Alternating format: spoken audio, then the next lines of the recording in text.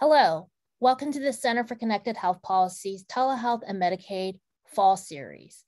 Today's topic will be on Medicaid telehealth permanent policies. My name is Mei Kwong. I'm the Executive Director at the Center for Connected Health Policy.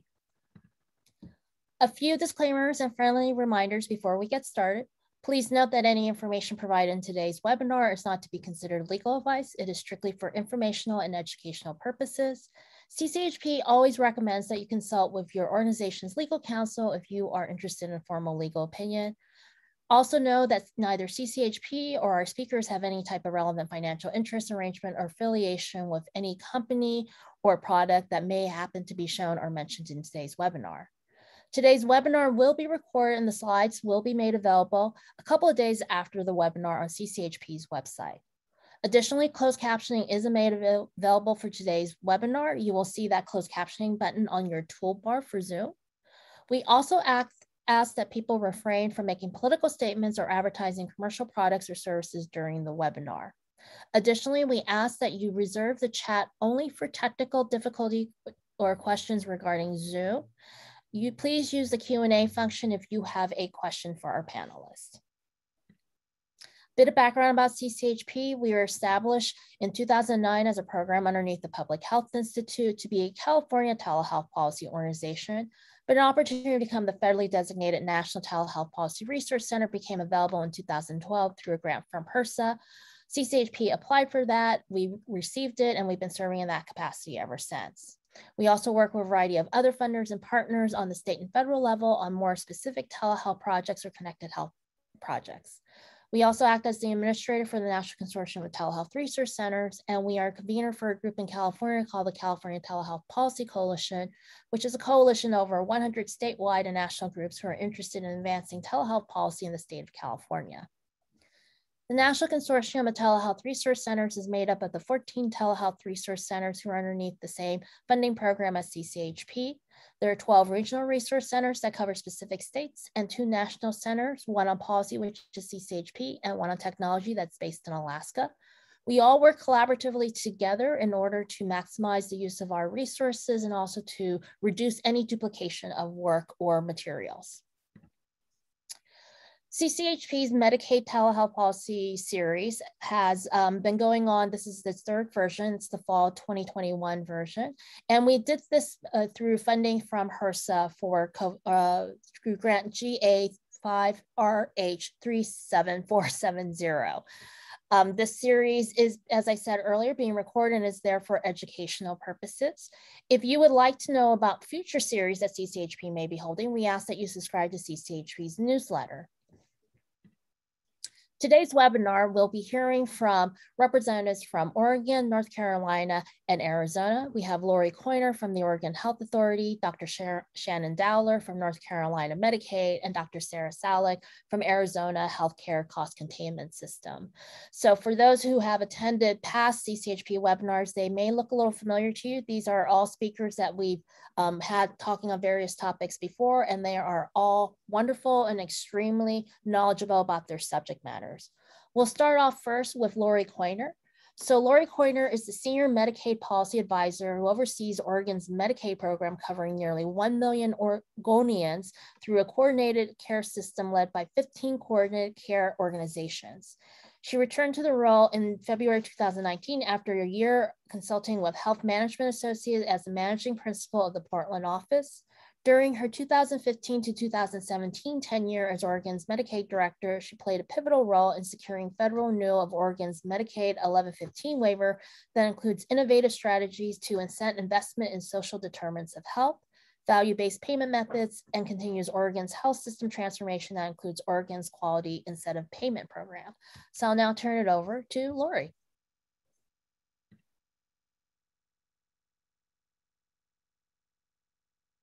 I think you're on mute, Lori.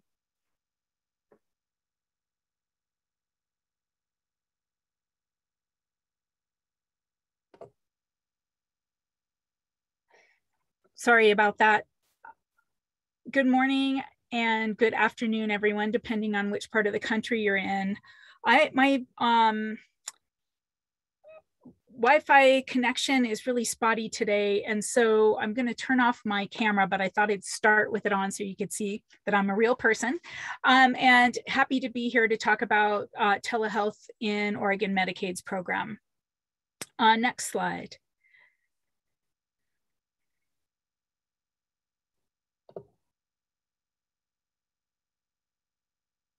So today I'm going to um, give an overview, just a couple slides about the Oregon Health Plan and the Oregon Health Authority. And then talk about the current state of telehealth in Oregon, um, some internal telehealth policy framework that's been developed really to focus on equity and um, supporting our goals in eliminating um, health inequities in Oregon through our telehealth policy framework. And then um, also give kind of a bigger landscape about where um, Oregon's Medicaid program has been going uh, in supporting telehealth. Next slide. Just to give a overview, a little a little overview about Oregon's um, health plan. Um, so our Medicaid program in Oregon is called the Oregon Health Plan. We are covering now with um, the um, maintenance of effort requirements, we are covering about 1.3 million Oregonians. Um, we cover their physical, oral, and behavioral behavioral health care. About 40% are children. Um, our Oregon Health Plan includes Medicaid. It also includes CHIP.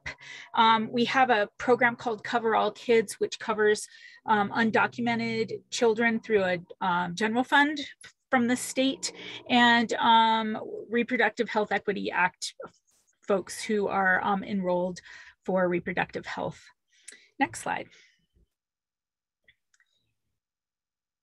The Oregon Health Authority has been working on its 10-year uh, strategic plan and, and that strategic plan has resulted in a goal to eliminate health inequities in Oregon by 2030.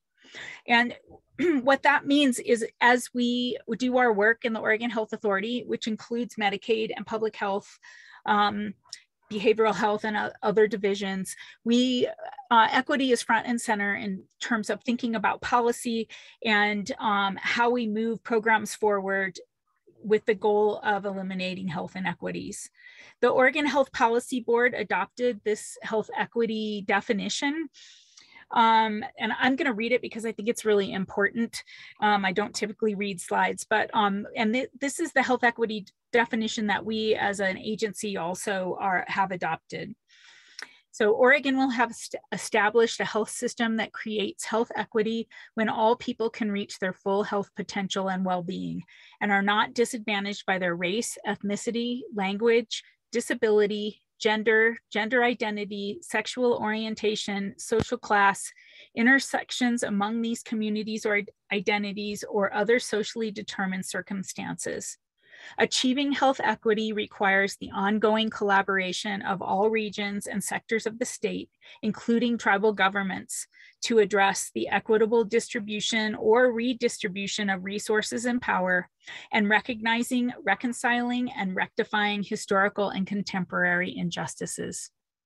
And the reason this health equity definition is important I, I, think for me to read is that um, as we've developed telehealth policy, we've really get the um, staff and different divisions that are involved in that work have have put this front and center in their thinking. And I'll, and I'll be highlighting that in the next slides. So next slide, please. So um, I'm going to talk a little bit about where we are in telehealth in Oregon since the pandemic. So next slide.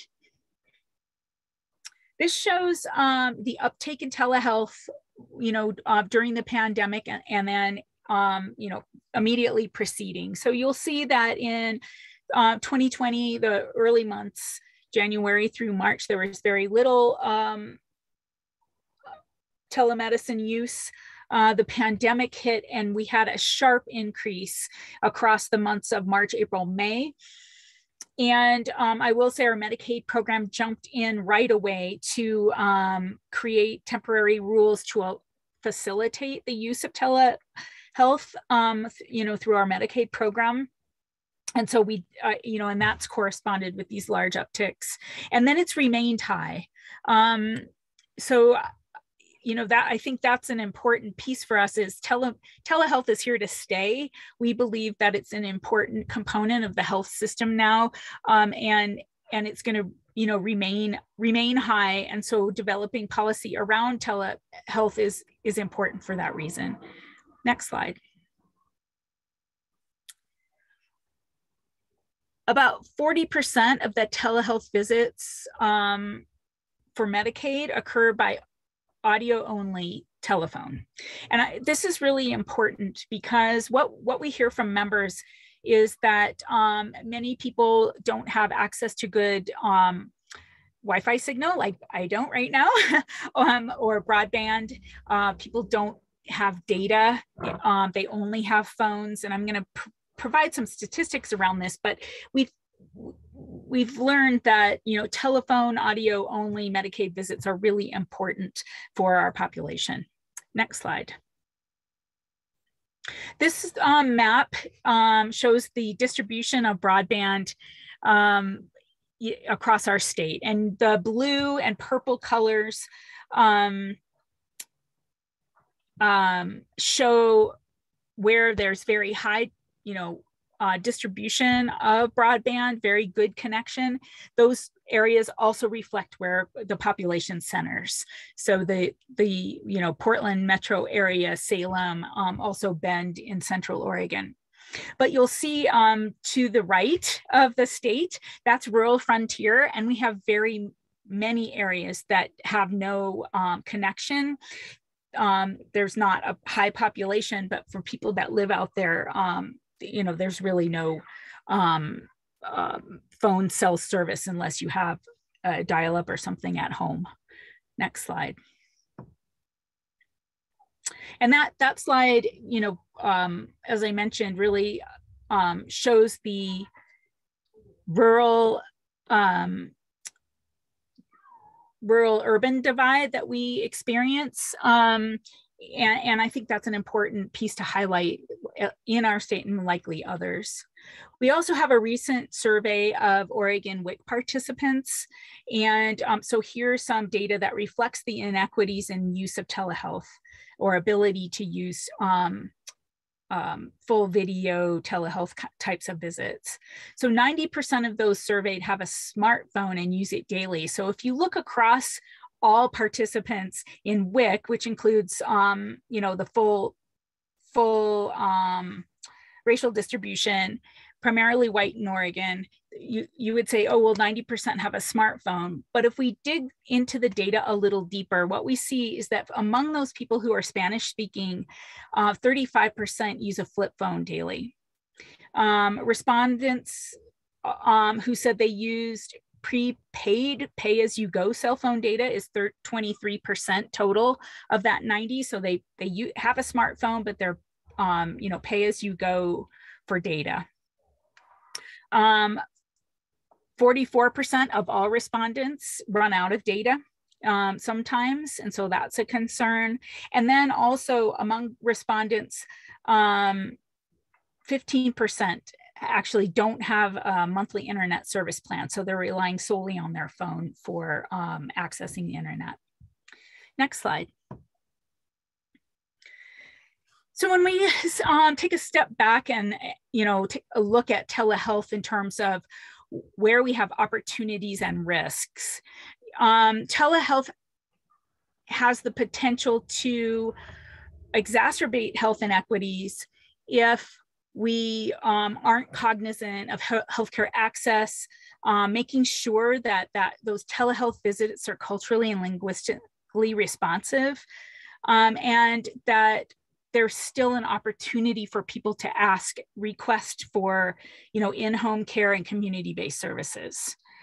Um, and you know, we know that there are inequities in access to telehealth uh, due to broadband or devices or data literacy, as I, I just went through on, on data that we have.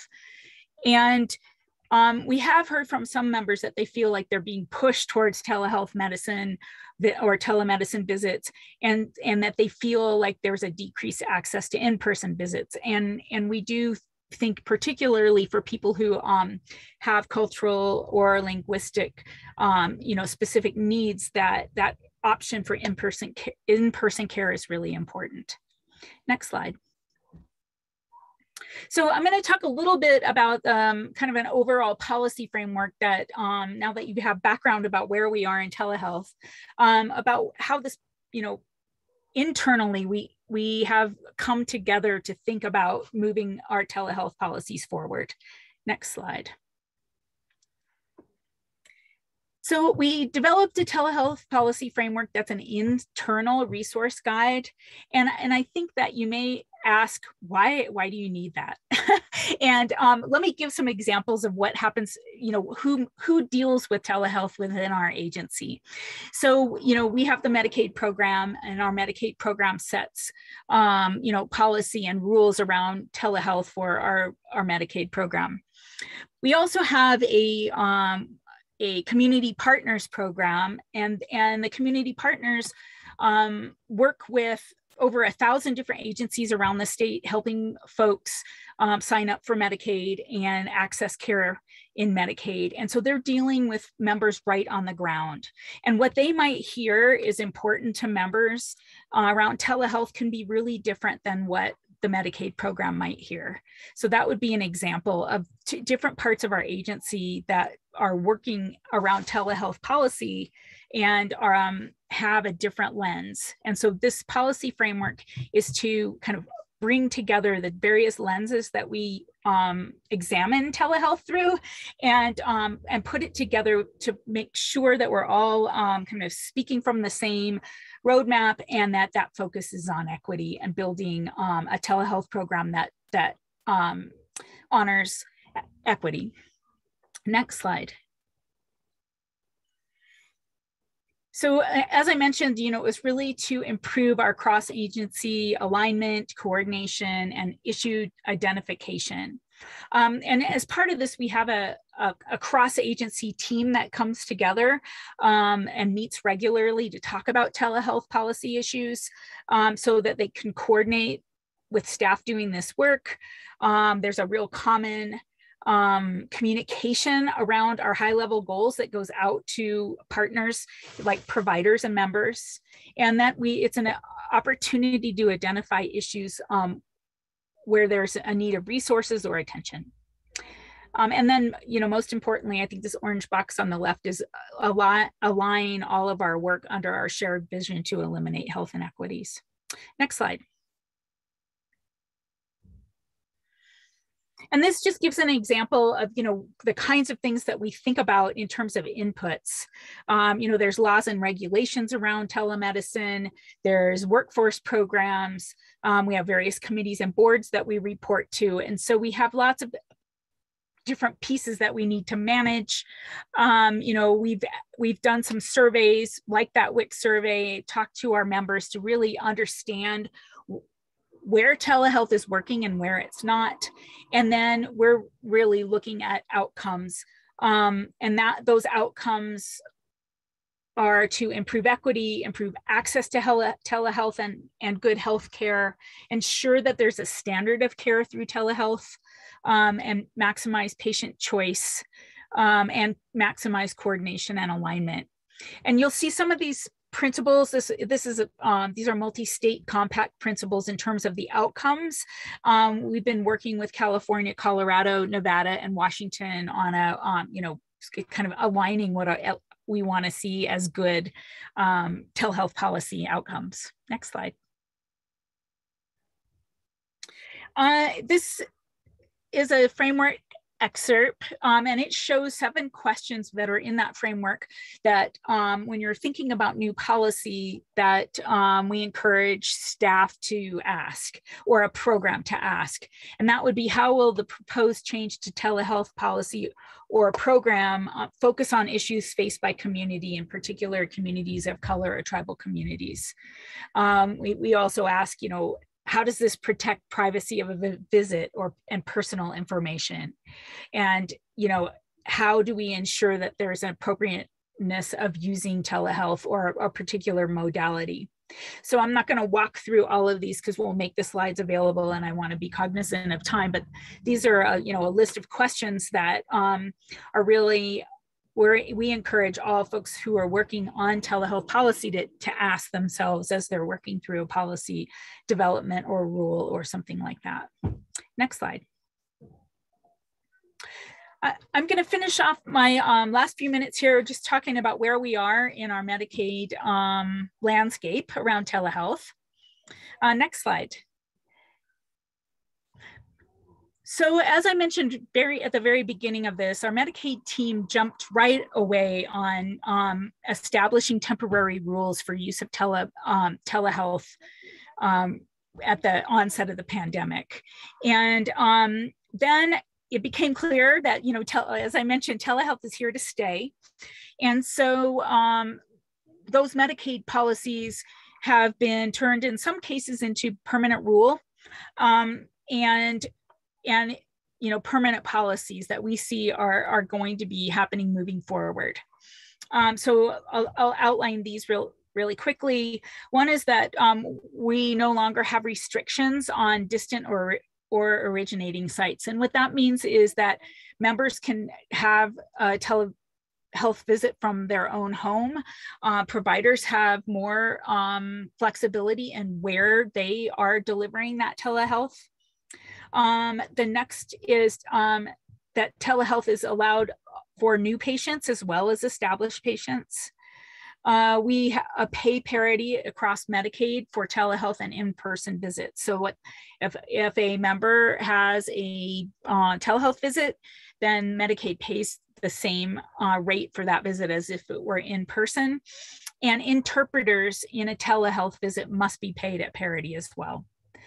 Um, we do require um, an audio only modifier in our when someone is billing for a telehealth um, visit, and that should be it. Audio only should be in use only if there is no um, AV available or feasible for that patient. And that's partly, um, you know, we really don't want to have um, telephone visits become the norm unless unless that's something that the patient wants and um, and needs. Um, patient consent for a telehealth visit is required and uh, providers must ensure meaningful access to telehealth uh, visits if a patient requests it. Next slide. Uh, the Oregon legislate, um, Oregon legislators passed um, some of the COVID expansion policies around telehealth as permanent um, law. And so uh, wanted to highlight these. This just happened, our session ended in July, beginning of July. And so House Bill 2508 expands coverage and um, establishes pay parity for telemedicine services in Oregon. So the Medicaid program started with pay parity, and this bill requires um, commercial plans to also pay at parity. Um, and audio only visits are included in that. House Bill 2591 um, funds three telehealth pilot projects for school-based health centers. And um, school-based health centers are a distant site that provides telehealth in conjunction with a school nurse that can be located at a different site. So it allows for that, like I mentioned at the beginning, some you know site variation um, so that it's easier for school nurses to have a telehealth visit with a, a student. Next slide. We have a couple Medicaid rule changes for 2022 that focus on patient choice. And we, um, I, I, mentioned this a little earlier, but we wanna make sure that um, patients don't feel and mem Medicaid members don't feel like they're being coerced into having telehealth visits. If they want an in-person visit, they can have one, but also that if they uh, need to have a telephone only visit, that option is available as well. So this concludes my uh, presentation and um, thank, thank you everyone. And I'm gonna turn it back over to Mei. Thank you, Lori. And we have quite a few questions. I will remind folks again to please use the Q&A function if you have a question for our panelists. The chat should only be used if you are having technical difficulties with Zoom or some other technical difficulty. So Lori, I actually wanna just ask a clarifying question. So Oregon Medicaid's approach to audio only wasn't necessarily to select services where audio only could be used, but basically it was looking at it from if the patient is encountering some type of issue where they can't either see a provider in person or via live video, that's when you can use audio only. Right. Audio only is a very patient centered choice as opposed to saying, you know, for these particular office type visits, you can have it audio only. Okay, great. So we're going to take a couple of questions for Lori, but I will remind folks, um, again, please put your question into the Q&A function and Lori will be back after all of our speakers have gone. We'll bring all of our speakers back for a full panel Q&A session. But the first question we have for you, Lori, is from Dana Northcraft, Northcraft, also about audio only. She was asking, did you face any pushback on audio only? What messages work best in making that part of the telehealth package?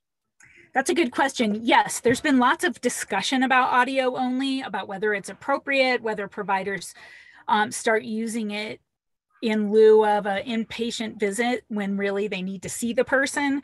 Um, and so I, I think the way that we handled that pushback was making it a patient centered choice as opposed to a provider centric choice. Um, our next question is from Larry Gentry. Are there any updates or expected changes to allow providers to give telehealth services to patients that are out of state? This stopped and impacted a lot of patients when emergency orders ended. You know, I'm that is a really good question, and I'm not sure. I'd have to check with our staff uh, around that. I believe we still can do out of state um, telehealth visits because you know we've we've put lots of the um, um, rules that were established under the uh, pandemic as permanent, but um, I I don't know for sure, so I don't I don't want to answer. I, I can get back to you on that. Okay. And, and if Lori, if you want to just send that to like CCHP, we can also make sure that gets to like Larry too, then answer. Great. Okay. okay. And we have a question from Molly Coy. How are you addressing the question of language capability of telehealth solutions for meeting needs of the population? That's a really good question. Also, um, language has been a big issue. We know that um, it's it's. We hear from members that it's much harder to have a visit when there's an interpreter on a third line, but we are we do have uh, pretty rigorous standards for our um, community care organizations, our CCO, coordinated care organizations, our CCOs around um, they must provide and pay for interpreter services, and that does include telehealth.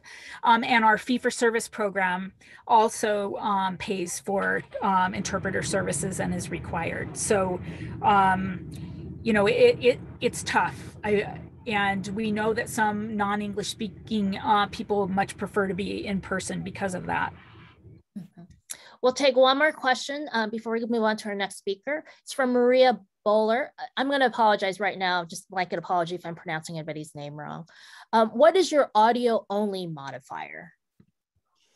Oh, I'll have to get to that specific modifier, but we do, um, like I mentioned, um, I don't know what the code is, but there is a modifier so that it um, shows that the patient, you know, needed to have an audio visit. And this, um, we we did this, and to get back to the first question, because there was pushback on audio only, and we want to be able to track, you know, what proportion are audio only, and make sure that the provider, um, you know, is is doing it because it's the at the patient's request. Okay, great. Uh, ooh, excuse me one moment, had a slight issue here. Um, as I said, we will get back to uh, Lori's, uh, Lori later in our webinar.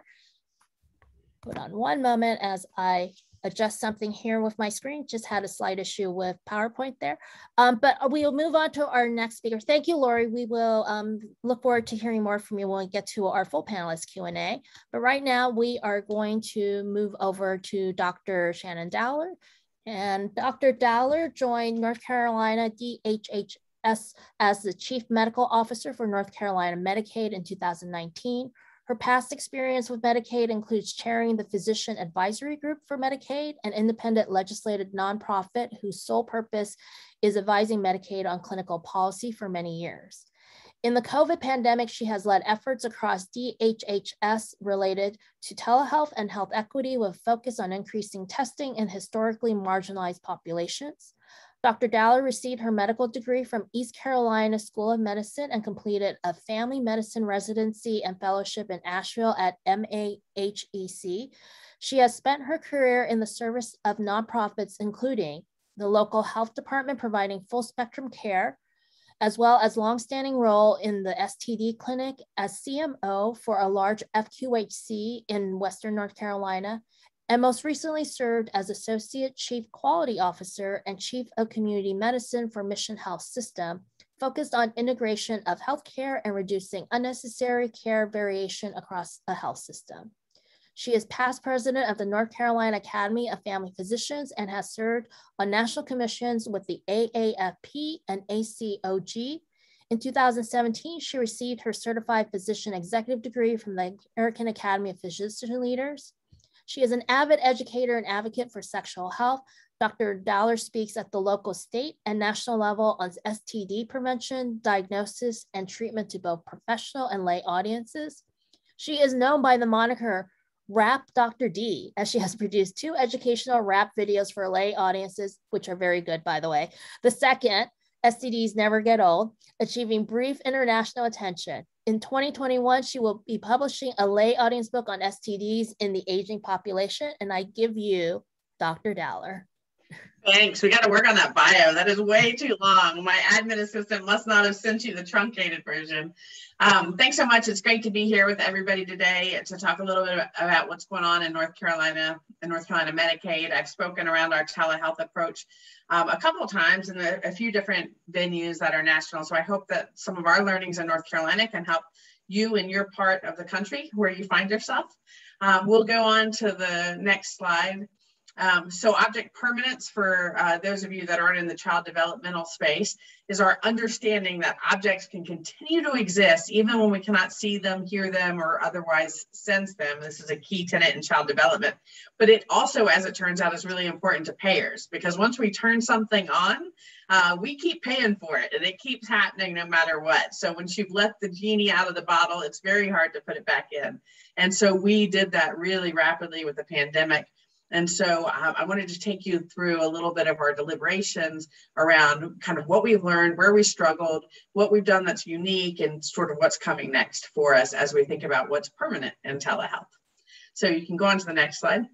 So early on, um, as we were moving very rapidly, we were turning out 12 24, 36 new policies every week. And this happened week after week after week for six to eight weeks early on um, in the pandemic as we were rapidly responding and trying to make sure our beneficiaries were safe, um, that they were able to get care and access care remotely, and that our providers and their teams were safe. We didn't have enough PPE um, in many parts of our state. We had staff that were out sick, and so the staffing um, in clinics was poor. And then we also had people out on that felt great, and they were on a 14-day quarantine, and so we couldn't um, afford to have them lose their access to patients for that whole time. And so we moved very quickly um, in North Carolina. And this is an early visual of as I was thinking through, okay, we're going to turn on all these things. Um, and this is a lot of work, like 80 hour work weeks for everybody. What do we do with the next pandemic? So, how do we create a switch so we can flip this on and off in the future? And so, we created a whole process. We ended up calling it the circuit breaker because we, it really isn't a switch. Um, that simplifies it too much. There are just different times when you're going to turn different things on and off based on what's happening in your environment. Are you having a natural disaster? Are you doing uh, having another pandemic? So if you go on to the next slide, over the course of the pandemic, um, we operationalized, we're almost at 400 flexibilities across multiple functional areas of our organization um, in, of Medicaid, trying to respond to the pandemic in so many different ways, and you know, relative to finance and clinical policy, um, in the behavioral health space, pharmacy, you name it, we made some um, changes. And so we've tracked those and are really looking at what percent of things are we keeping on and are they the right things? And I'm going to take you through some of our dashboards so you can see how we're measuring it in North Carolina and, and what we're paying attention to. If you go on to the next slide. So um, what did we learn? Number one, our early prediction models for the cost of telehealth grossly overestimated estimated the fiscal impact. So prior to having to do everything at once, there was a tremendous amount of fear that this wouldn't be a replacement service, that it would be an additive service. So we should double the cost or double our spend on all sorts of things because of telehealth. And what we found, in fact, is that is not the case at all. We looked at our beneficiaries and whether they had a follow-up visit um, more, were they more likely to have a second visit after a teleservice, meaning that it would be duplicative or after an in-person visit, and actually they were more likely to in an in-person visit. And so um, what we looked at early on, we were very conservative in our fiscal impact analysis, and what we've seen in the pandemic has not borne that out. Now, granted, a lot of people weren't seeking care for part of that time, so we're gonna have to study this for a longer period of time to really understand it. Uh, the next thing I'll talk about is we've been measuring total cost of care all along. And uh, I'm a, I'm as a, as opposed to Oregon, who seems very enthusiastic about telephonic. I have some real reservations in that space, um, but I've come along. I'm doing better. Um, but we we have been looking at things when we're studying it in person versus telehealth versus telephonic because we're trying to understand the impacts. Um, we chose in North Carolina to reimburse at 80% of parity for telephonic. Um, and I'll go into a little bit more about that later. Um, and so when you look at the total cost of care, it's altered by both of those numbers. It's a little lower than telehealth. It's about that percentage difference in the reimbursement. Um, so we're going to be digging into that data more to make sure we're really understanding it. Um, but it, bottom line is, it doesn't look like there's a significant difference um, when you look at the non-ABD population, certainly you don't see any increase in total cost of care with telehealth and telephonic. Um, and then when you look at the ABD population, why that bump in telehealth? I've got my theories, and I think it's related to COVID infections and frequent follow-ups and monitoring, but we're doing that analysis now to really understand that number. Uh, if you go on to the next slide, um, the next thing we learned is that our early adapters, so our offices um, that went to telehealth faster, had much better outreach and outcomes. And so North Carolina was a state that was very, um, I will say, early on the, the train with telehealth. Medicaid wasn't covering it at all, essentially, only in one consultative way. So many of our providers hadn't invested heavily um, in telehealth services, but some just dove right in. And we saw that access to care and the percent of a panel that was seen um, actually was directly related. We saw that early on, and now you're looking at cumulative data, well over a year's worth of data. Um, and there's still this persistence. People that were medium to high adopters of telehealth, meaning they billed a fair number of telehealth visits, really did access a larger percentage of their patient panel um, and population and got new patients in the process. They were actually able to serve more people. Um, if you go on to the next slide. Um, not all our decisions were popular no further explanation required. Um, we definitely every every week we we give a we do an update, a webinar, and we tell everybody what we had done the week before, what we were turning on that week, and what we saw coming down the pipe for the next week. And um, every time we thought we had a pathway to the end where we had everything done. And by the end of that webinar, we had emails from different provider types saying, wait, what about us? What about us? So we ended up turning on telehealth for all sorts of provider types that had never been on our radar. Um, and that's not a bad thing. Um, but uh, some of those weren't made permanent. And so that, that has created some uh, stress for some of our provider types. If you go on to the next slide, unexpected benefits continue to be revealed. Um, I think this is really true. And I think we're just so early on in understanding the impact of being able to access patients in a different way and provide services for them in a way that's more patient centered um, is really something that we're continuing to learn. And in our, our uh, patient satisfaction survey that we just got the results like two days ago, we actually embedded some telehealth questions in it this year. And so we're going to have some data soon to look at what people's experience was and what they thought about telehealth. And so we're excited to get that data. All right, if you want to go on to the next slide. Uh, one of the other things that we really looked at and thought about was is there a difference between in-person versus telehealth versus telephonic when it comes to uh, worsening status? So their chance of being a bounce back you know you get sick you get seen by your doc and then you get better and go home or you bounce back and you end up in the hospital. Um, and so that's a, a, sort of ambulatory marker we might use. And what we saw was for our um, non-abd population and our ABD population, we saw an increase in that bounce backs or escalation hospitalization, a little higher on the telephonic side um, than telehealth in both populations. But in the ABD population, actually in person had the highest rate of going to the hospital. So again, there's a lot to unpack in that data. What percentage of those were COVID positive? And we split out, you know, we'll need to do some analysis where we take our non-COVID patients and compare them to the COVID patients. Next slide.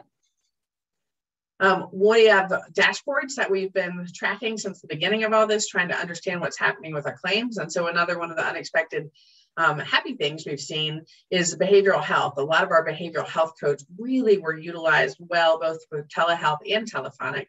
And you can look at um, these trends and see that the the darker purple line is the telephonic versus telehealth. And so the longer, more intense services were still being done by telehealth, but the shorter services, um, you saw a little telephonic. So, you know, where is that place where we can find a balance of what is the right thing for the, for the beneficiary and what gets them the best care? Next slide. Um, so to achieve the quadruple aim, we've got to be nimble. Um, and I don't know that people say that about Medicaid programs very often, but uh, we man, we learned how to be nimble in a pandemic. So, um, in other words, there's more than one ways to skin a cat. That's why there's a cat picture there. If you go into the next slide, um, you'll see we studied uh, about mid-pandemic. We thought we we're thinking about our behavioral health patients that really had complex needs and those that are on antipsychotics. And we also looked at those being treated for opioid use disorder. And we saw that having access to telehealth really did improve their adherence to their medication regimen and their fills were happening on a regular basis. Um, so really positive things in certain pockets of the population. So if you're looking at what your needs are for a particular program or a state or a region, you might be able to modify some of your policies to, to strategically go after certain issues. All right, next slide. Um, so where do we struggle? Um, I'm going to talk through three areas where we had the, the most conversation. One is around telephonic only services. The next is around specialized therapies, and then well child um, virtual visits for, for wellness, essentially. All right, so if you go on to the next slide. So telephonic only. Um, absolutely, there are positives to being able to use the phone. Um, when all else fails, it may be the only way you have to reach a patient. It's certainly more convenient for the provider and the patient. It's very easy to pick up a phone and make a call. It is the easiest kind of access um, to service.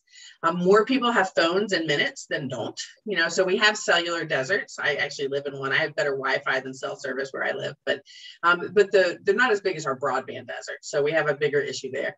Um, for low income and low health literacy, telephonic care might be more accessible and it may, it may really be the better option for them. Um, the negatives are there as well. So the cost to provide the service by a practice is much lower. And if you look at our reimbursement rates, a lot of it is based on the cost of a practice to provide the service. And it's certainly lower than telehealth and much lower than in person. Um, I would argue that the value of the care provided is lower. As a physician, um, being able to see my patient, do an assessment, look at their affect, um, you can do physical exams with telehealth in many ways that you just don't get that same thing on the phone. I think the risk of inappropriate clinical care is higher. So we're more likely to miss things um, when we just have a phone. I, the risk of fraud and abuse is definitely higher. Uh, you don't have any sort of visual way to confirm that your patient is who you think they are. Um, in that same area, HIPAA noncompliance is higher there. You might run into um, sharing information with a patient who you think you're talking to, but it's really not who they are. Um, and you can't necessarily recognize them based on the ID you see or their picture in the EMR on a telehealth visit. Now, when you're a family doc and you've taken care of somebody for a lot of years, you know their voice. So it's not true in every circumstance. Um, I think the bigger thing, and maybe the biggest thing for me on the telephonic only that I really worry about, is that actually I think we have the potential to exacerbate health inequities. And so I'm concerned um, that this will create an easy button so we won't improve on the technology gaps and our digital divide we have in this country because we've got an easy button and we'll just say we'll do it by phone call. The other piece is I think if we have the potential to actually prioritize lower value care to our historically marginalized populations um, because it is easier. And that's not necessarily the best way to do it. So has strong opinions. We did decide to cover it um, temporarily and we did decide to make it permanent. The legislature didn't tell us to do that. We said we wanted to do it. We have not set our rate yet. It will not be full parity. It's going to be some rate. We're hoping uh, CMS comes out with some really clear guidance. The current reimbursement for telephonic care is, we think, too low. So there's some happy place in between. All right, if you go to the next slide, you'll see some of the ways we've studied this and where we've looked for um, we've we've looked for where we see aberrations to say, huh, is this being done the right way? This is an example where there were a bunch of audiology codes being billed telephonically. Um, and when we dug into it, it was only happening in two practices in the state. So I send that over to my compliance and audit team to say, hey, look into this. This doesn't feel right. Um, we looked at tobacco cessation. So we turned on the ability to do tobacco cessation telephonically. And what you see there is a pattern you would expect. You see that it goes up over time in the pandemic when the pandemic says it's worse, and then you see it start dropping down as things simmer back, simmer down, and people get back into the office. So what I would say a pattern that I would expect to see. If you go on to the next slide. Um, one of the areas that I'm particularly concerned about in telephonic is we're seeing these big bumps in some of our intensive behavioral health services, like um, intensive alcohol treatment and peer supports and other things where the vast majority of the care is now happening telephonically, not with telehealth and not in person. Um, so that's concerning to me as well. So we're watching some of these areas to decide what we really are going to allow permanently. If you go to the next slide. Um, specialized therapies was an area that I was totally prepared to say all of these are temporary. None of this is staying on us permanently. It just doesn't make sense for these things to happen. Um, but we learned, we did a lot of outreach and listening. You can see this long list. I don't have time to go into it all of all the positives that we heard from therapists and beneficiaries around the benefits of actually being able to provide specialized therapies. Um, but there are some negatives too. And we needed to weigh those out. Um, we saw telephonic being used more than we would have expected or liked in specialized therapy space, um, where it didn't feel quite right. Um, not was, we've heard particularly with certain children and certain ages, it's not as appropriate as with others. And a lot of those specialized therapies do require hands-on. So we really balanced between the positives we saw and the negatives and ultimately ended up leaving a lot in permanent policy, particularly in the speech therapy space. I think that was really the area where we we found some real positives that we hadn't seen before. If you go to the next slide, you can see a, a, look at one of our dashboards where I was looking at PT and OT um, and telehealth versus telephonic claims. And you saw there was just, you know, sort of an unusual amount of telephonic claims, but then that decreased over time. So my suspicion is as people got more comfortable with telehealth, got their platforms up and running, they then went to the um, real-time audio-visual instead of telephonic. Um, but just an area, even in May of this year, people were still billing those claims, um, um which is just something we're following. If you go to the next slide. Um, well child visits um, or wellness visits in general, um, a lot of the same positives, negatives in the other spaces. The big ones are um, there's some real positives to a family, um, particularly when they have someone that's physically difficult to move um, between places or when you have really strong immune suppression. Challenges are many of these wellness visits really do need hands-on. You really got to, you know, touch somebody and examine them or track vital signs um, for growth that are really important that you're using kind of the same technology for that.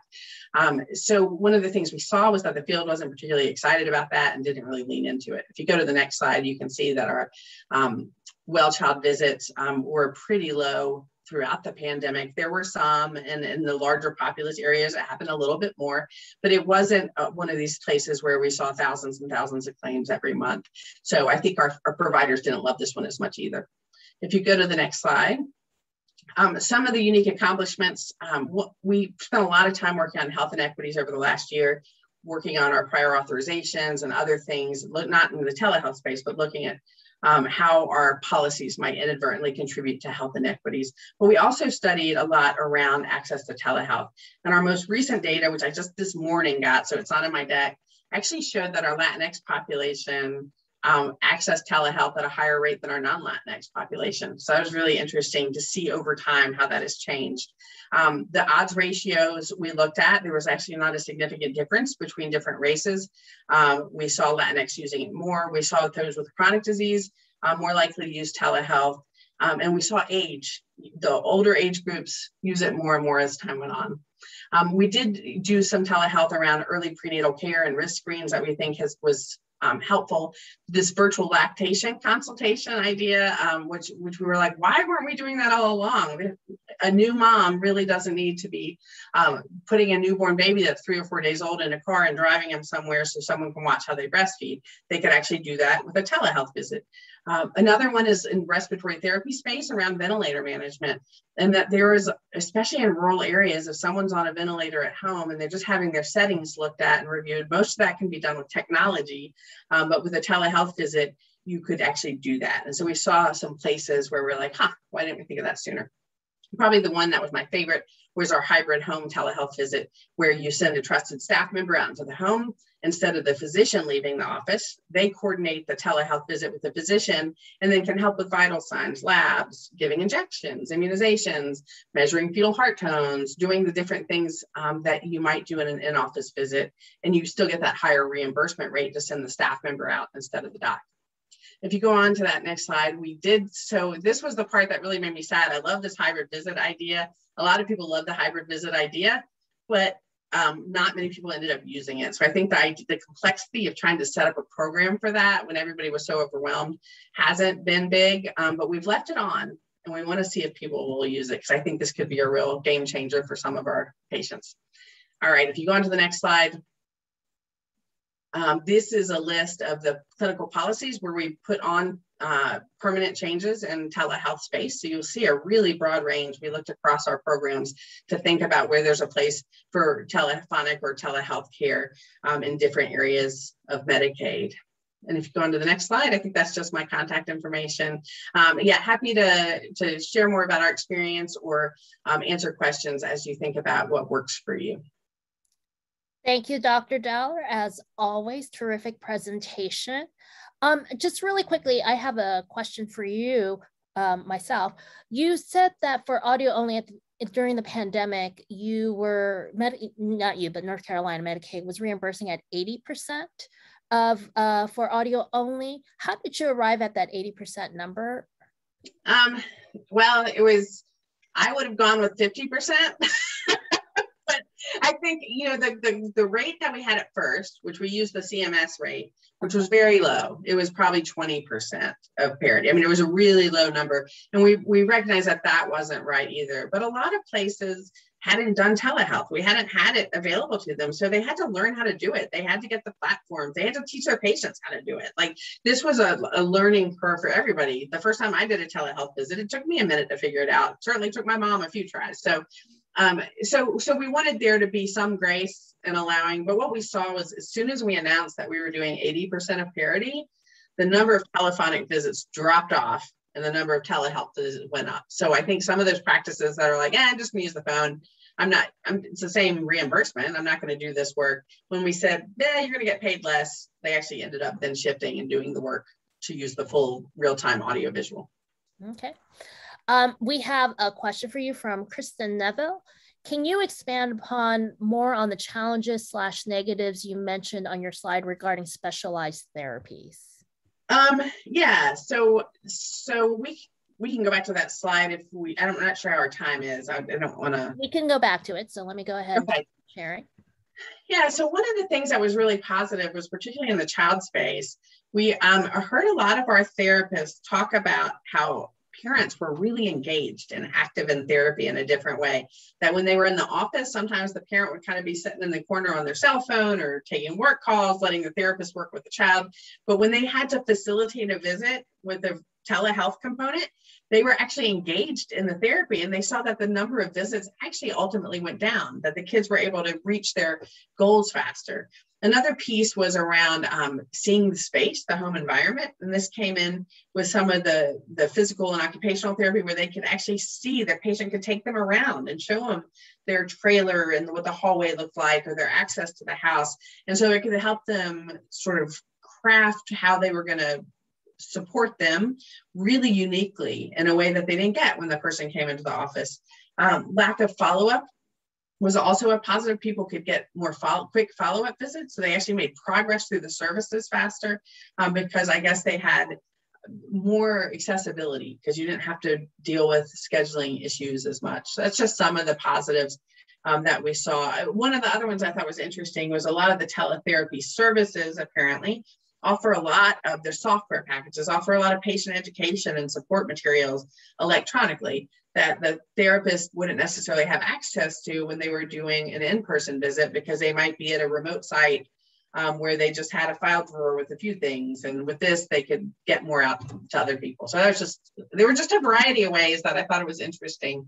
Um, some of the negatives where we saw the telephonic happening more than we would have liked, um, the children's ability to use some of the modalities. And then the biggest one was safety concerns. You know, is, is it, does that caregiver that's helping someone adjust their wheelchair are they really in a good place to catch that person if they fall or you know, there were there were some in the physical space we were more concerned about okay we'll take one more question before we go on to our next speaker um, this is from somebody who wishes to remain anonymous how was your community health worker utilization during the height of the initial wave of covid-19 were they physically dispatched to patients residences?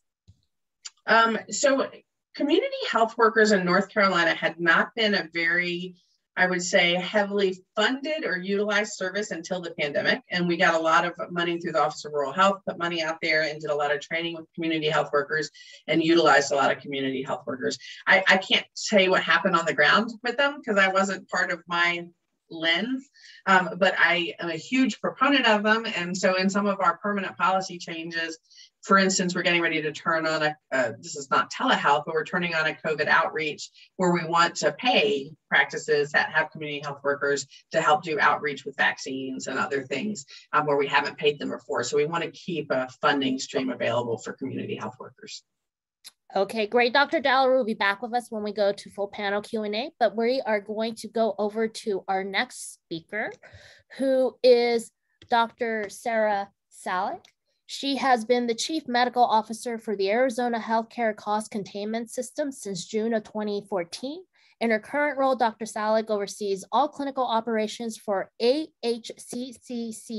including quality management, medical management, dental and pharmacy services, Specific initiatives aimed at improvement of service delivery and overall health of Arizonians includes active offers to tackle opioid epidemic, overseeing suicide prevention efforts, improving services to children with autism spectrum disorder, and improving service delivery to children and families involved with the Department of Child Safety.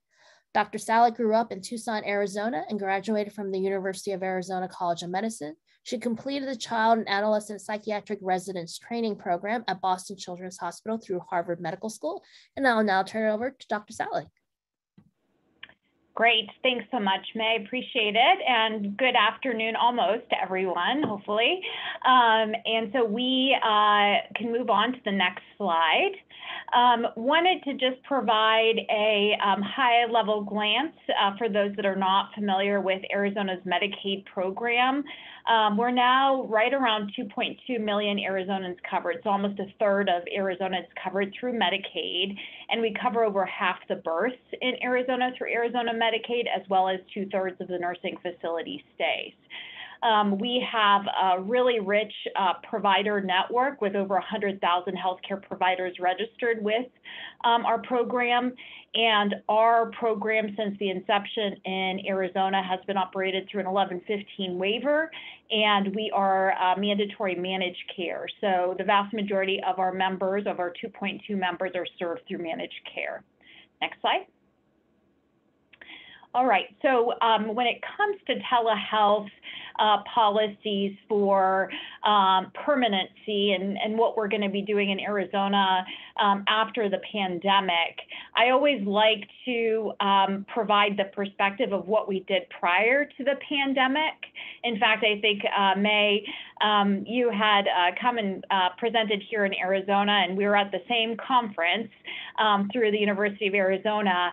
And we had just uh, talked about implementing these changes at that conference. And so this was prior to pandemic, back on October 1st of 2019. We did a pretty um, large uh, overhaul uh, of our telehealth policy around expansion uh, based on um, a variety of issues, including um, what my um, co-presenters mentioned as far as Shannon and Lori uh, related to um, access to care um, in particular for our rural communities.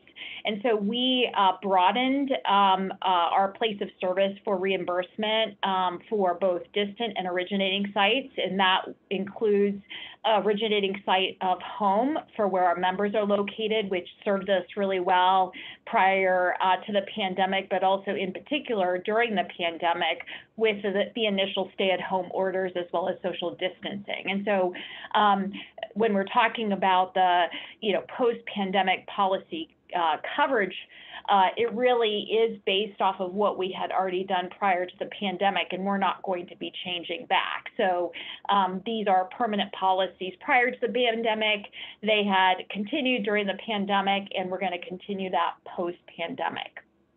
Um, and so uh, for place of service, for example, that place of service home um, will continue to be reimbursed for um, uh, post-pandemic. We also broadened coverage for uh, telemedicine, remote patient monitoring, and asynchronous all of that uh, expansive coverage uh, starting pre-pandemic will continue um, post-pandemic.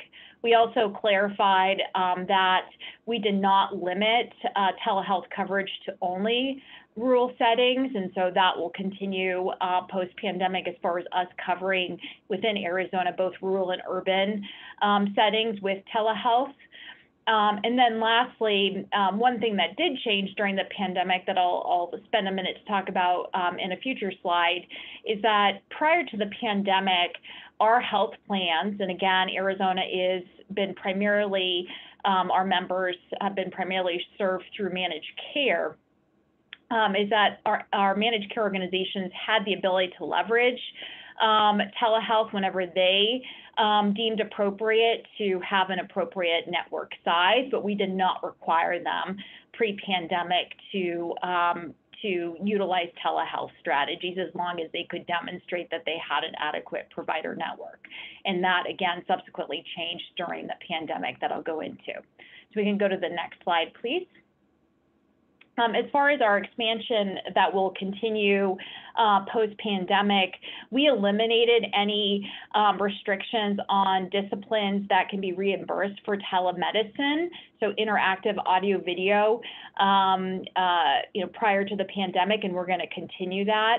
We really defer to a scope of practice as identified and determined by um, the individual practitioner's licensing board. And so um, as a payer, we would uh, defer to uh, scope of practice in regards to when um, interactive audio video is appropriate for implementation versus not.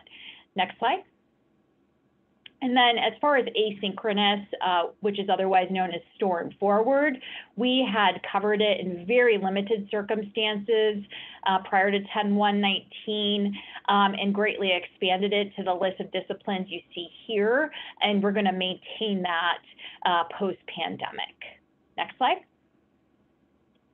And then in regards to telemonitoring, prior to 10.1.19, we limited coverage of telemonitoring to congestive heart failure, and we um, removed any restrictions based on diagnosis. As long as it was medically necessary, cost effective, we uh, covered telemonitoring, and that was implemented on 10.1.19 as well, and we'll continue that post-pandemic. All right, so um, moving us along, I wanted to, um, you know, note some of the changes that we made during the pandemic um, and what we're going to do in regards to um, uh, post-pandemic coverage. So we did implement, based off of both member as well as provider request, a temporary audio-only code set of 94 codes.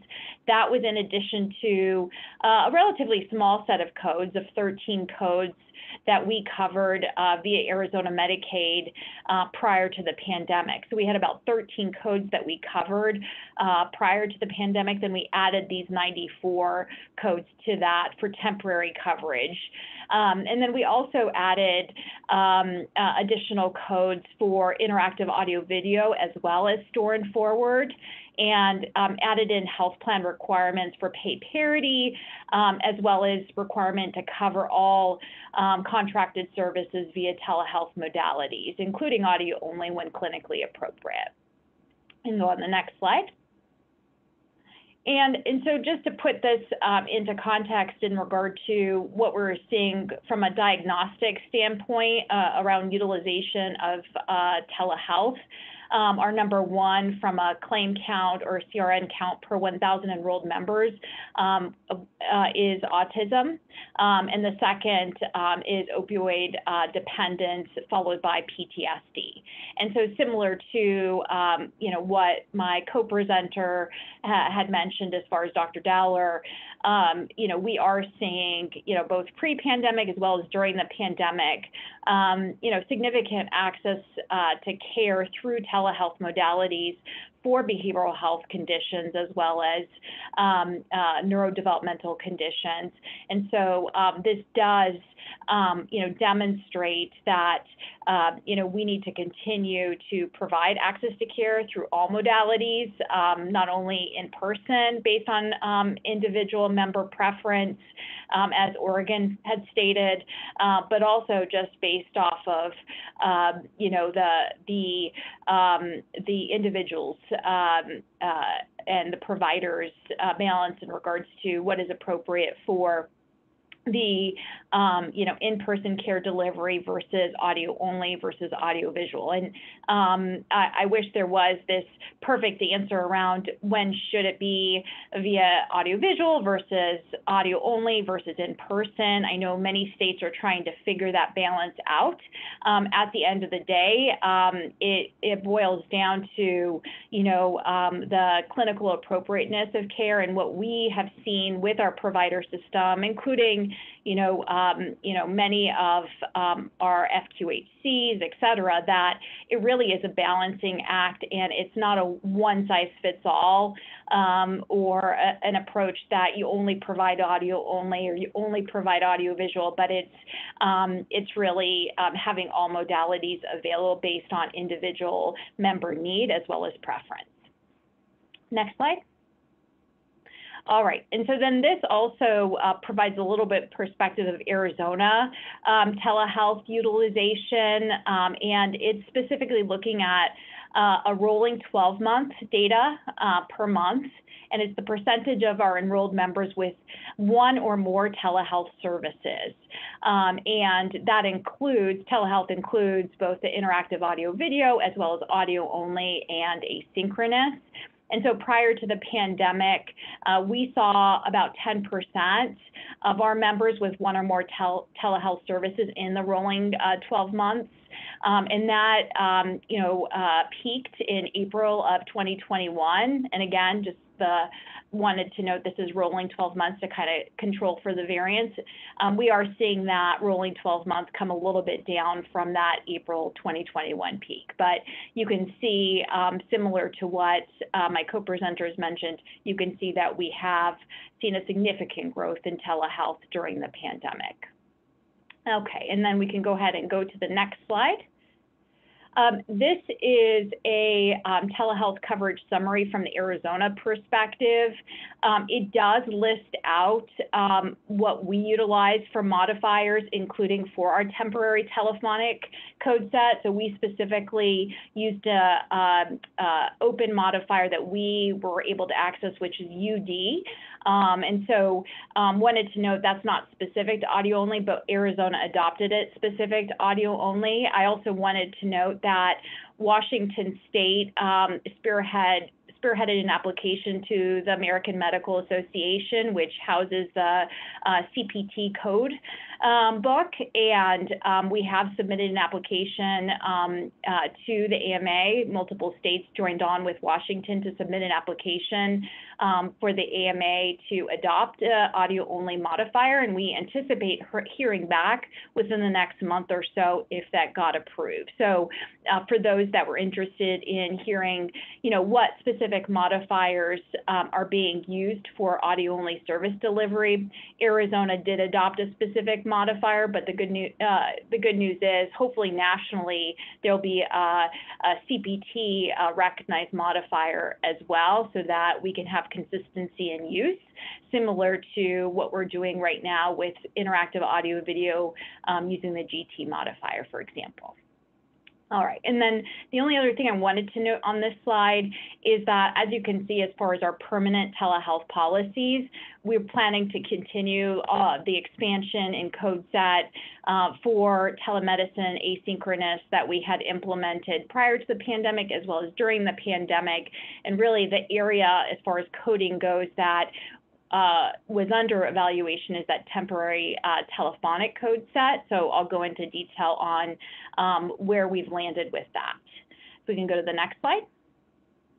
Um, we did have during this last legislative session in Arizona, um, House Bill 2454, um, which um, had multiple components, including for the private commercial uh, insurance industry, as well as the formation of a telehealth advisory committee um, that I co-chair.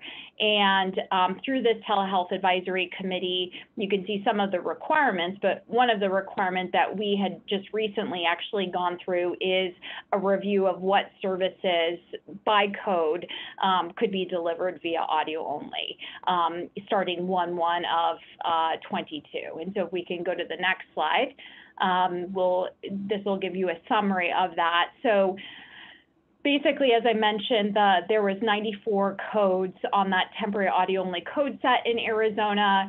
Um, based on review through our uh, telehealth advisory committee, there was a recommendation to um, maintain 24 of those 94 codes, and we had previously um, had uh, reimbursed for 13 codes on our permanent audio only code set. So we're looking at uh, 37 distinct codes that uh, Arizona Medicaid, as well as the private commercial insurers in Arizona, um, will reimburse for when delivered via audio only.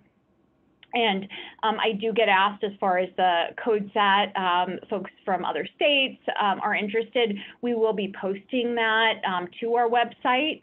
Um, and it is, um, uh, we have a telehealth specific, telehealth advisory specific web link, and it's included in this presentation.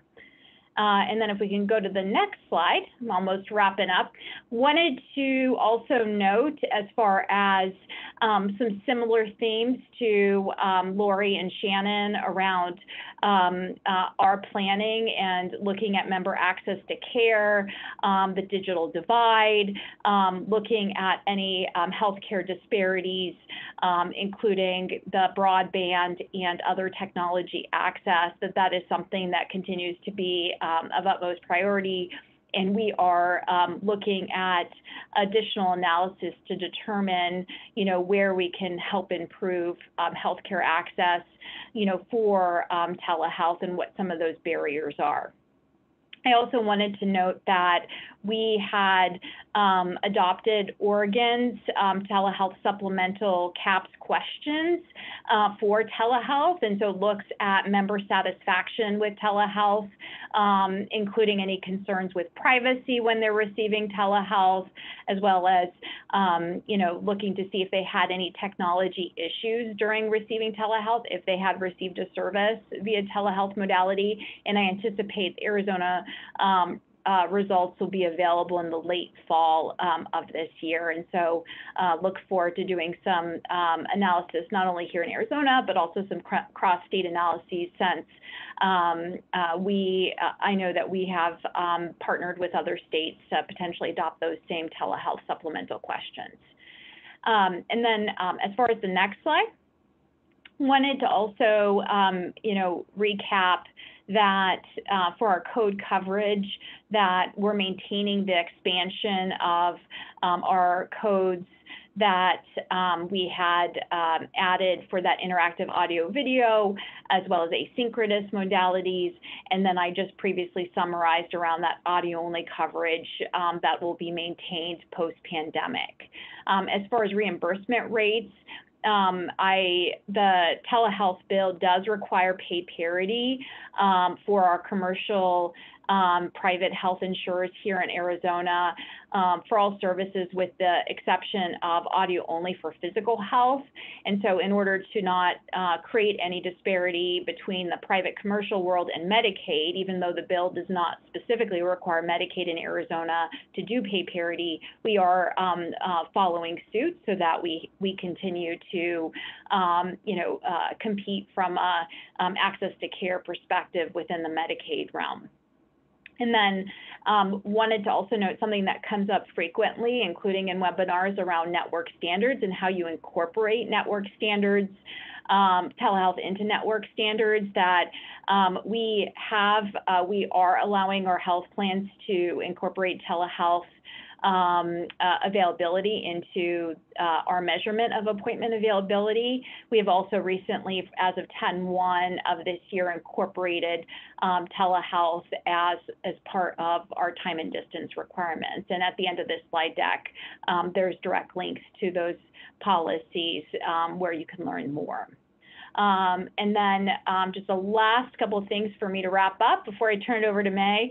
Um, wanted to note that as part of our um, telehealth advisory committee, we are required to adopt um, telehealth practice guidelines for providers. And uh, similar to what Mei had mentioned early on, we don't want to reinvent the wheel. There, we know there's a lot of great work uh, getting done there through individual medical associations as well as the American Telemedicine um, Association and CCHP, for example. And so wherever we can leverage what already exists, we are going to do that.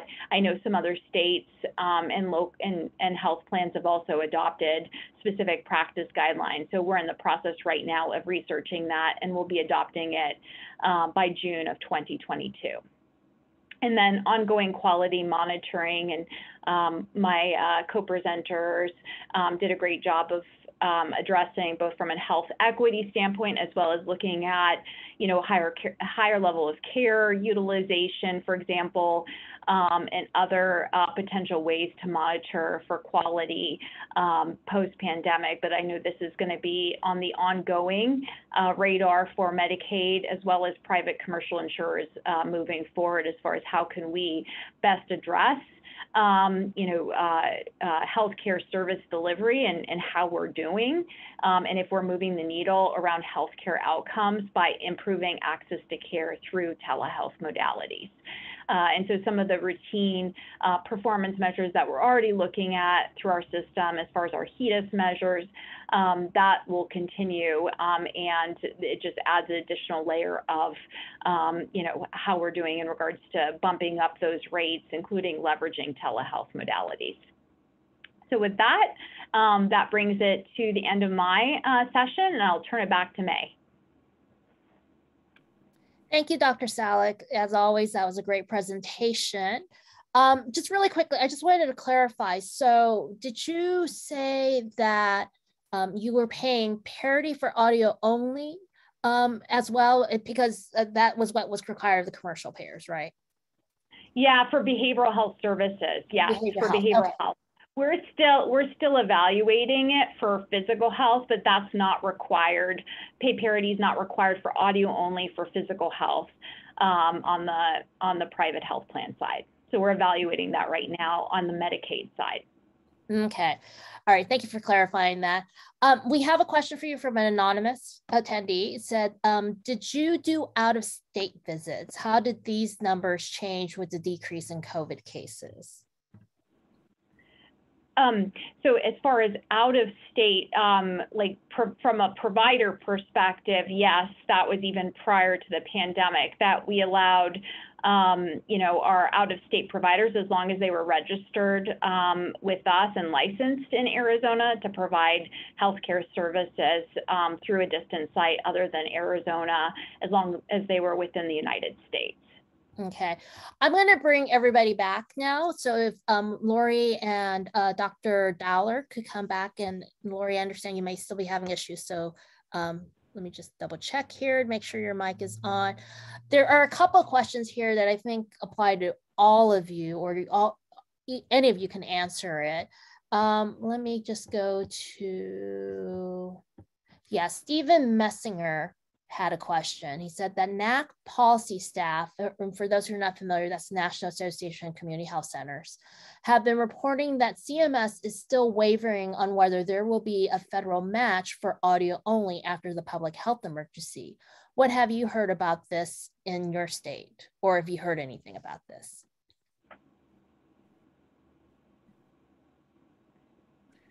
Um, this is Lori. So from, oh, go ahead, Lori. I was just going to say, you know, we haven't tackled it yet. So I, you know, waiting to see what happens and and I think we're just in in wait mode at this point. Okay. Um, we have another question from Anonymous. Um, has the uptick in telehealth increased overall visits and costs to your state Medicaid programs or not because those visits replaced in-person visits?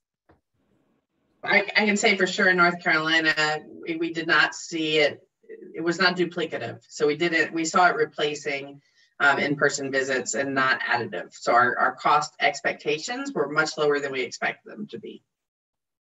Yeah, and I think, yeah, to Dr. Dowler's point, like overall healthcare delivery, um, you know, the reduction in in-person care, that telehealth didn't supersede that in Arizona either. So overall service delivery was down in comparison to pre-pandemic. I also want to note from a cost saving standpoint um, that, uh, you know, in Arizona, we cover non-emergency medical transportation. So we do see a reduction in the use of non-emergency medical transportation based on, uh, you know, increased access through telehealth.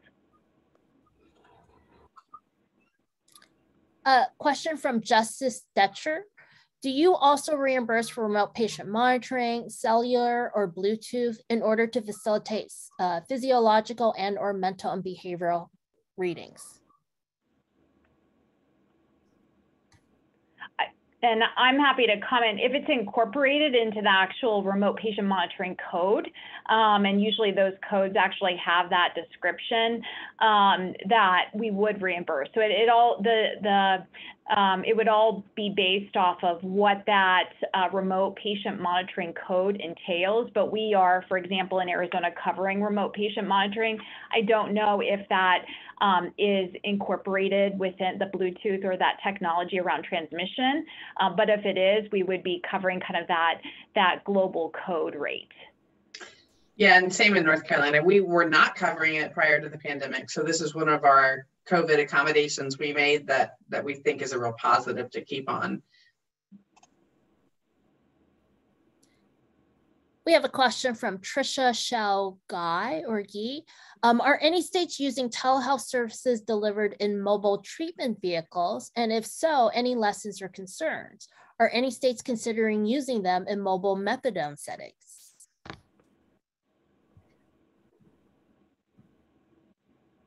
We certainly had um, practices who would have people drive up and they would hand a tablet and they would have a essentially a telehealth visit from the parking lot um, because the patient didn't have access to technology at home and this was when there wasn't a lot of ppe so we reimbursed for that but i don't know anything you know nothing else in the mobile space that i'm aware of So we have a question from Heather Mills regarding documentation standards. And I, I know this may not be required in like all your programs, but she's asking what is the documentation standard for collecting consent for telehealth providers? How do providers document verbal consent, a recording, or via a tech app that collects DocuSign?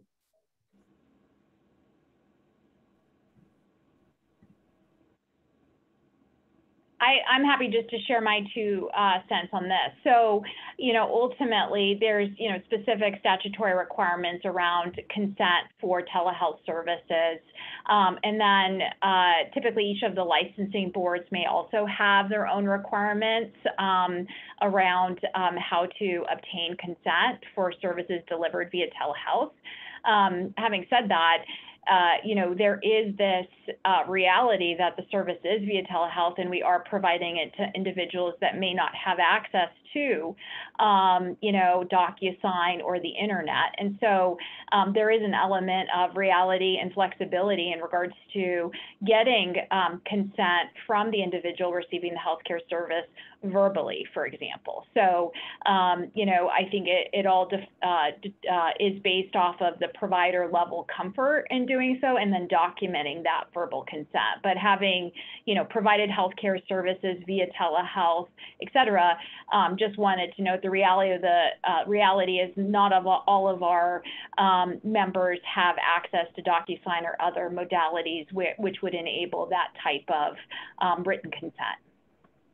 And we we went around and around around how prescriptive to be in our clinical policies around consent and, and decided that ultimately it was the liability of the provider um, to make sure that they were getting consent for the services that they were providing. And this really came up in the group visit space around how do you do virtual group visits and um, consent for that and you know from a privacy standpoint. But yeah, we left it uh, we left it the onus is on the responsibility of the provider. Mm-hmm. And, and to that point, just to add another thing, some of our providers may, uh, based on their comfort level, may want that first visit to be in person to get all of that written informed consent. And we would cover non emergency medical transportation to that first visit. So they might operationalize it that way by having that first visit to get all of that um, to overcome maybe some of the, the digital concerns around, um, you know, internet and access to technology. Um, this question is for all of you, but probably like Lori might have something a little bit more concrete around it. Do your states require physicians to document the reason an audio video service was not performed when an audio only visit was done? Sure, I can speak to that. I don't believe, I, I don't know what the documentation requirements are besides including a patient, you know, including the modifier on the billing code. Uh, there may be some additional, you know, um, documentation requirements beyond that, but I'm not certain. So we have a question from Bill England. While it appears televisits did not increase total visit, is it possible to tease out if care is still being put off due to the pandemic? So once people are fully mobile post PHE, the visits avoided will start to catch up. I think that's a risk across the board. You know, a lot of people have put off mammograms and colonoscopies and other, especially the preventive services. Um, and we saw that in our HEDIS measures when we looked at, um, we've recently gotten our data, but actually we maintain on almost everything or got better despite the pandemic, um, with a few exceptions. Uh, hemoglobin A1Cs for our diabetics. So I suspect that's if you have a telehealth visit with your diabetic, you're not getting the lab that you need. So we found a few areas where a lab was required, um, which we lagged a little. We lost a little bit of ground, but overall, um, have found that we actually maintained and actually did better in the childhood immunization space. So uh, this is an interesting question. Do you have restrictions regarding establishing new patients via telehealth? This is Lori from Oregon, and no, we, we do not. Likewise for Arizona Medicaid. I think we did before the pandemic, and it's one of the things we loosened. Um, this is from Jas. Again, apologies if I mangle your name, Jaspreet Chaudhary. For all the panelists, can you share more on how decisions were made about which services to make permanently available through telehealth? I'm happy to just give high level that for Arizona, we greatly expanded prior to the pandemic. So we were already in that direction. Uh, for codes that we had added during the pandemic, as far as like um, the additional codes for um, interactive audio video as well as asynchronous, we decided to maintain. Um, and then the audio only coverage codes that went through our telehealth advisory committee. And it was a review both clinically as well as code description in order to make that determination we had a complex process in North Carolina, mainly because we didn't have anything before. So this was a big jump. I led a COVID telehealth work group during the pandemic for DHHS, and we involved a lot of stakeholders, physicians from private practice and from health systems and payers, and all sorts of people were involved in it to get input and feedback. We also met with our Payers Council um, and for the state several times to talk about kind of what broadly payers were thinking about. And then our team did every single code that we turned on temporarily. We, uh, the executive team reviewed from every layer, from compliance to legal to billing to, you know, the cost of it. Um, and we went through a very painstaking process on each of those codes. This question is from Terry Boughton. I think Dr. Dowler mentioned a concern about increased use of audio for alcoholism, alcoholism treatment during the pandemic. Could she elaborate on the nature of the concerns? It's not so much in the, there was a time in the pandemic we expected it, we wanted it. You know, we turned it on for a reason. We wanted people to have access however they needed to have access. But as people, um, as the pandemic got lower and people got vaccinated, our expectation was that the services would happen more in person or by telehealth because that was our preferred modality. But we saw a couple of um, intensive codes. Um, so for like outpatient intensive therapy codes that were getting billed at a telephonic rate much higher than we would expect, especially during the months when our rates were very low in the state. And so we're just looking into that to try to understand, you know, what was going on and is it just a coding issue that people were using the wrong modifier? And our last question is from Anonymous. Have any of you compared pre-pandemic telehealth visits to the current percentage of telehealth visits? How do these numbers look like?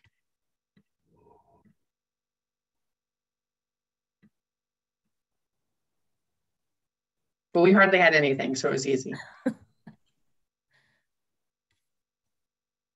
Yeah, and we we had significant um, we had significant growth in Arizona as well, and I think I probably have shared it in a previous webinar, Mei. But I'm happy to drop in that slide in regards to kind of our pre-pandemic utilization uh, versus that significant growth curve um, during the pandemic. So we do have that pre-post comparison available in a data slide if that would be helpful.